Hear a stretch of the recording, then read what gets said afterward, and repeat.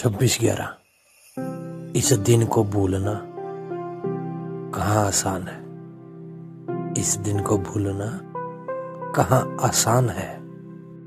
दुश्मन को हर हाल में मिटाना हमारी पहचान है।